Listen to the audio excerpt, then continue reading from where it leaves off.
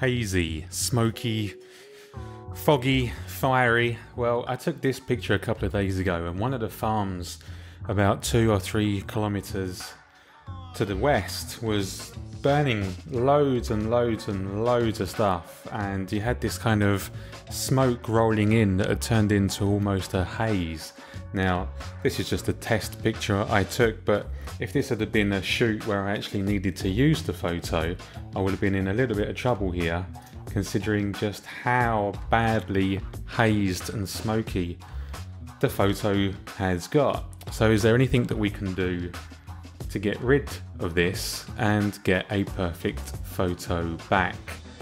Now, when you're in Lightroom, a lot of people kind of start from the top here and miss some of the other features. So uh, what we're going to do is scroll right down until you get to around and about the area where grain is here and you'll find this one which says dehaze but you know what some of these Lightroom features are like they're a bit hit or miss. So will this actually be a hit or a miss Let's have a look here, see what it's doing.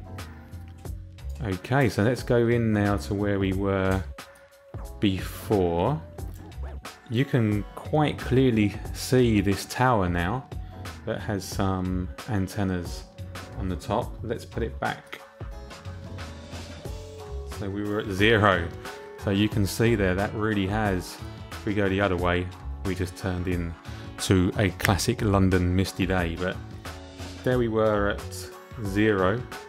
So that's how it was. And if we pull it a little bit here.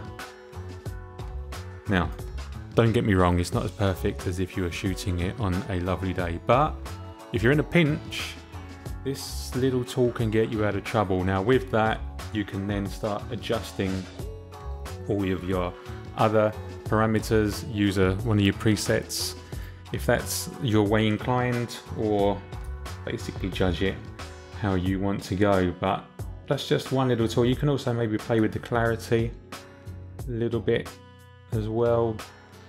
That can help. And then you may find that that has pretty much got you out of trouble.